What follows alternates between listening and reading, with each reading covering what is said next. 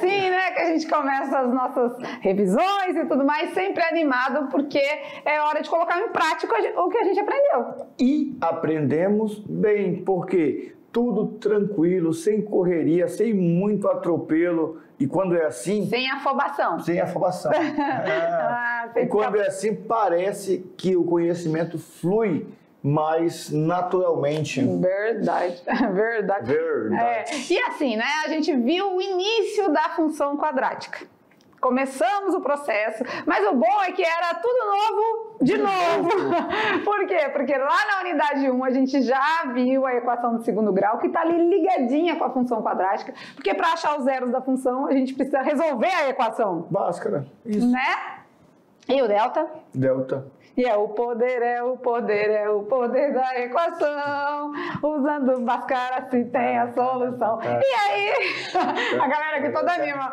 E quando você anima aí também, é hora de colocar a mão na massa, mas antes vamos dar aquela revisadinha básica. Olha lá. Falando então de função quadrática na sua primeira parte, a gente vai dizer qual é a lei de formação, né? Como que ela vem sendo representada? Como Bom, é que é essa função? Agora nós temos um termo que está elevado à potência 2. Nós temos um ax ao quadrado e esse a não pode ser zero.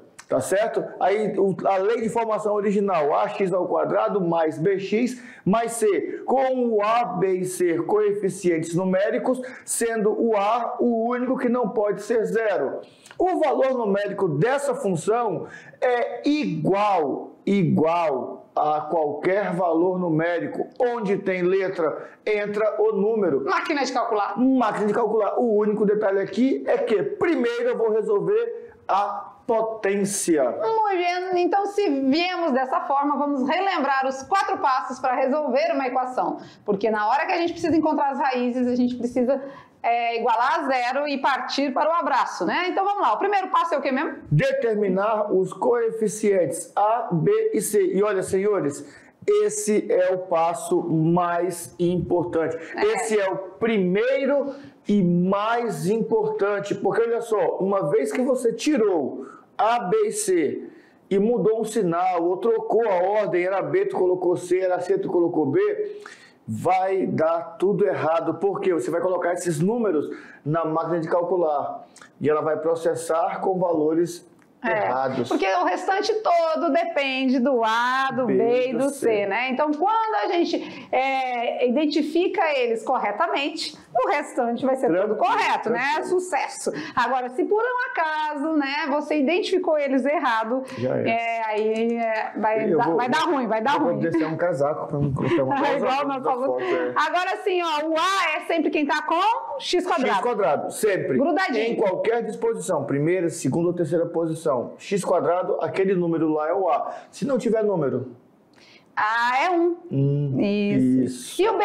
O B sempre tem que estar grudado com o X. X. E o C, quem está sozinho. sozinho. certinho? Depois disso, segundo passo, a gente vem para o delta, delta. né? B ao quadrado menos 4AC. Tum, tum, tá? Tum. Beleza?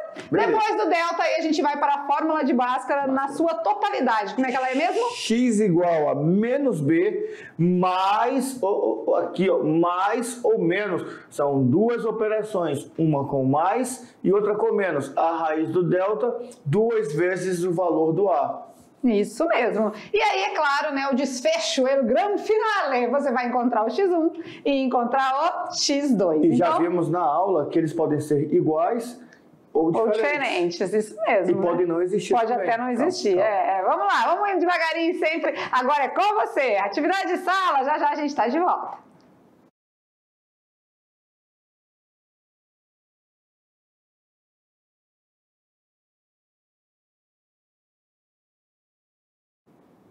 Estamos juntos, reunidos e misturados, porque a resolução vem vindo por aí, né? Tava tá, muito fácil. Né? Né? E, Tava fácil. e resolver uma equação do segundo grau, usar o delta, o bhaskara, é aquele negocinho que a gente fala sempre, trabalhoso, mas não é, Não é difícil, não é difícil. Né? Então, vai render uma folha do caderno inteira? Vai. A gente vai ocupar a lousa toda aqui para resolver? Vai. Mas na hora da prática, é o mesmo processo. Sempre você vai seguir aqueles quatro passos e sempre vai dar sucesso na certa, beleza? Vamos lá, animados? Então vamos tirar as dúvidas. Questão de número um. Dada a função quadrática definida por f de x igual a 3x ao quadrado menos 5x mais 15, determine o valor da expressão f de 2 mais f de 0 menos f de 1.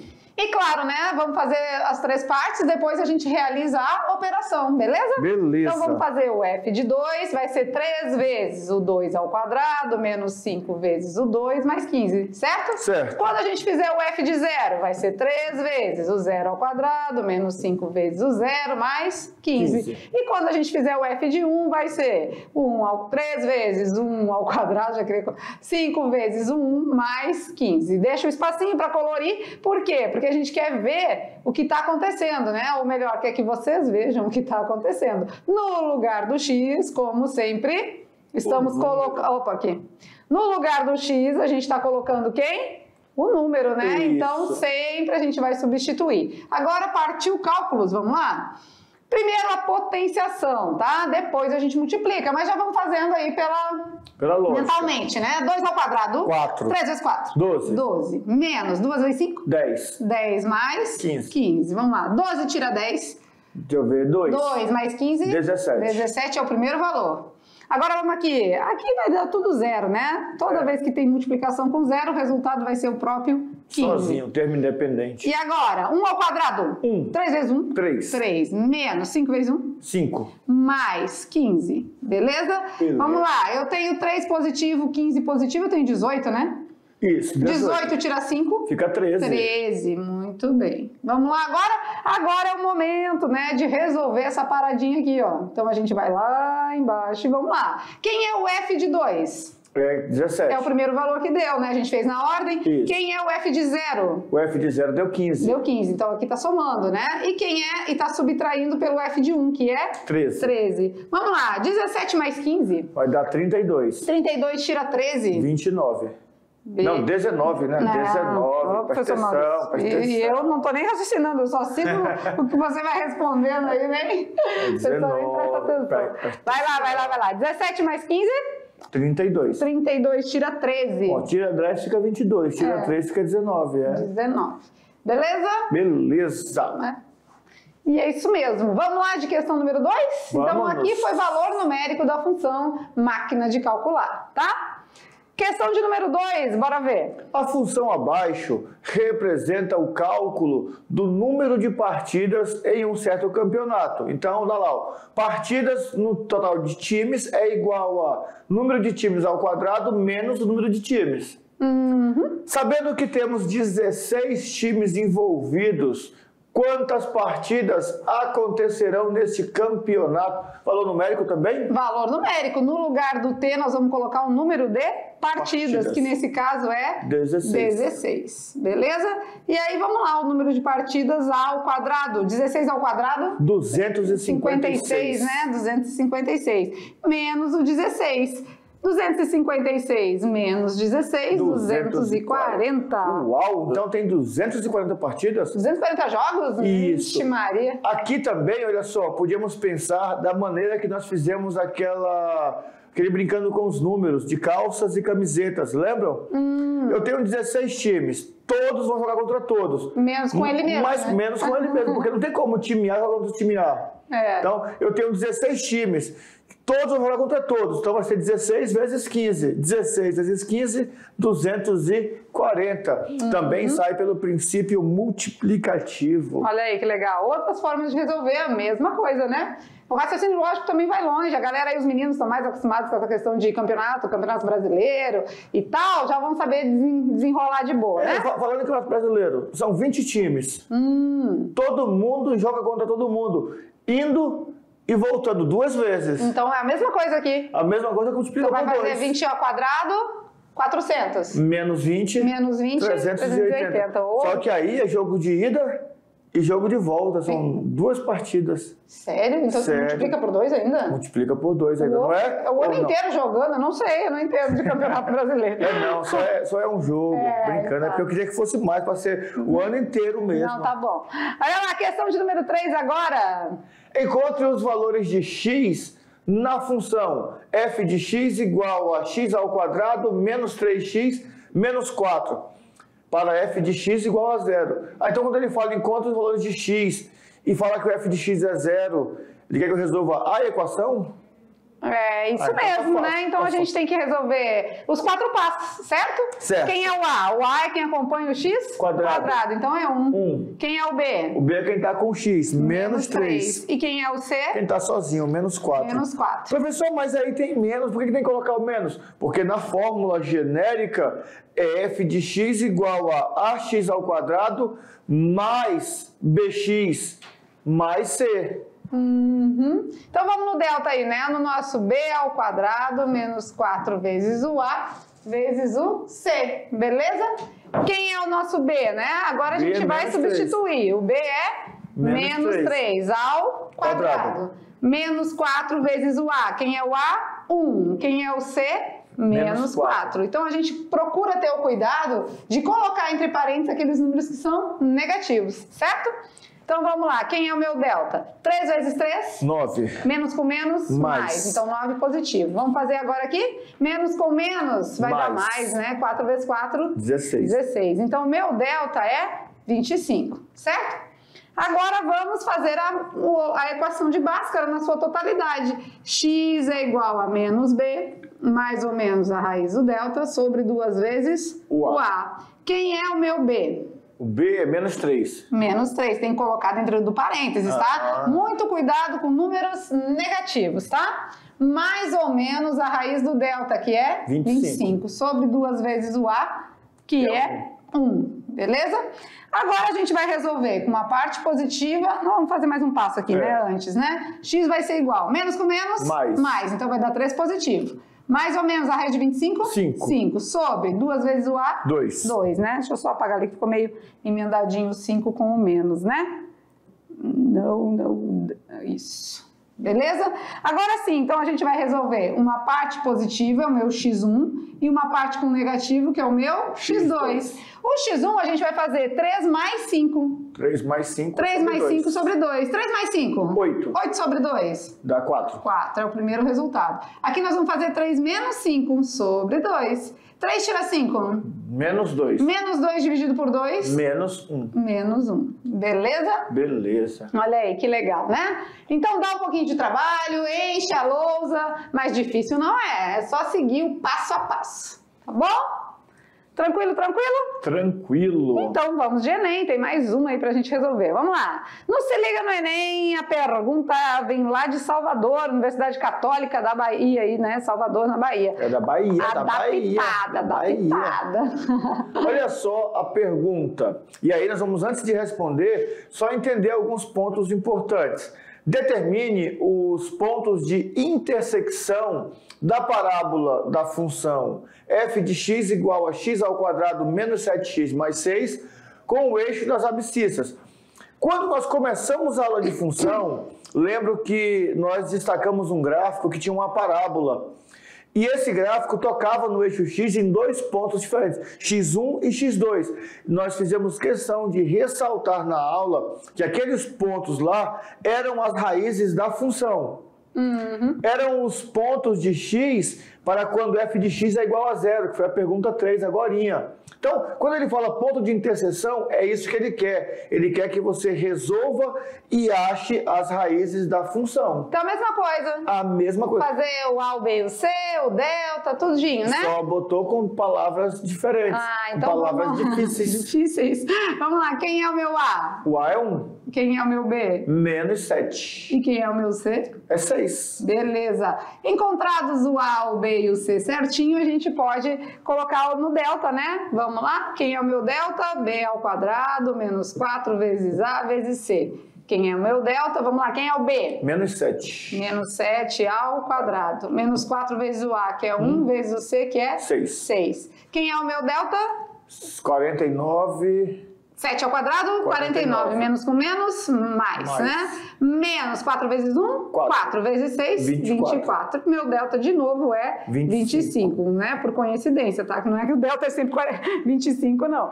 Vamos lá agora no nosso Bhaskara? Vamos. x é igual a menos b, mais ou menos a raiz do delta, sobre duas vezes o a. x é igual a menos b, quem é b? Menos 7. menos- mais ou menos a raiz do delta sobre duas vezes o A. Vamos dar uma substituída aqui observando. O B é menos 7, ó. Tem o menos da equação E o menos e o do menos do 7, tá? Então, delta é 25 e o A é 1. O A também não é sempre 1 não, tá? É Isso. Porque geralmente é, mas não é sempre. Menos com menos, Mais. então vai dar 7 positivo. Mais ou menos a raiz de 25? Cinco. 5. Sobre duas vezes 1, Dois. 2. Vamos fazer agora o x1 e o x2? Vamos. Bem Usando... rápido, rapidinho. Isso, usando lógica. só o mental, né? Vamos lá. 7 mais 5? Doze. 12 dividido por 2? 6. 6 é um primeiro x1. Ah, então a letra B não pode ser, nem a letra D, nem a letra E? Não, porque deu 6 positivo, né? É. Então pronto. E x- x2 agora? 7 tira 5? 2. 2 dividido por 2? Um. 1 positivo. Então chegamos à conclusão que é a letra C. C. E aí eles ficam perguntando assim também lá. Ah, mas eu preciso sempre colocar a fórmula B ao quadrado menos 4 vezes A vezes C, menos B mais ou menos a raiz de delta dividido por 2A. Tem sempre que colocar? É importante que você vá repetindo, repetindo, para quê? Para que na hora de uma atividade avaliativa você não esqueça. A nossa cabeça tem facilidade de lembrar daquilo que a gente faz com repetidas Com vezes né? com frequência. Caso contrário, ela vai achar que não é tão importante você colocar a fórmula. E quando você precisar, vai acontecer sabe o quê? Hum. O que, que eles falam? Ih, deu branco. Esqueceu, porque usou pouco ou não usou. Falou assim: não, já sei, não vou repetir, não, coloca só os números. Na hora da prova, dá branco. Acontece, tá? Uhum. Isso é verdade. E o que, que acontece, né? É, a gente tem que tomar alguns cuidados. O processo é sempre o mesmo, não é difícil, tá? É o b ao quadrado menos 4ac. A gente repete até aqui, né? Sempre a gente vai Sempre, repetindo a sempre. equação, repetindo a equação para memorizar mesmo, para a gente não, não esquecer de algum detalhe de sinal, alguma coisinha que possa ficar despercebido. E agora os detalhes são importantes, principalmente no sinal negativo, Hum. né? Então, olha lá, o b é menos 7, então muito cuidado aqui com menos 7, muito cuidado aqui, atrás Oh, aqui com menos 7. mais ou menos. É, porque nós temos o menos da equação, né? Menos b, mais ou menos a raiz de delta, e nós temos o menos do número, do valor numérico que é negativo. Então, esse cuidado tem que ter, tá? Tem que ter muito cuidado. É, é- a equação de segundo grau não é, não é difícil, é simples. O processo é, é o mesmo, É, ela, né? ela é trabalhosa. É. E aí nós já, já falamos e vamos continuar repetindo. É, é diferente você falar que o negócio é difícil e que ele é trabalhoso. É diferente. Como é que Uma é de coisa roçar? difícil, como é que você vai saber? Roçar o pasto é o melhor, o é melhor. difícil roçar o pasto? Carregar cascalho. Tem lá 6 metros cúbicos de cascalho. É difícil carregar cascalho, colocar no carrinho e levar? Não é difícil. Não, Qualquer um pode fazer, né? É simples? Não é simples, porque é um processo trabalhoso, porque você vai, você vai ter que encher o carrinho. Quando você bate aqui, ó, ele bate numa pedra. Então tem todo esse processo, certo? E, e tinha, tinha um negócio do brincando, uns números doidos lá. Ah, tinha uma Lembra? máquina de calcular doida mesmo. Estava pirobado aqui, mesmo, aqui mesmo, na, tela aqui. Vamos lá, vamos resolver aqui mesmo. Tá lançado o desafio e aqui dizia que 2 mais 3 era 10. É, só, só que eu entendi, eu vi um Nunca negócio. foi. Mas eu vi um negócio aqui, Ah. ó. Ó, quanto que é 2 mais 3? É 5. 5.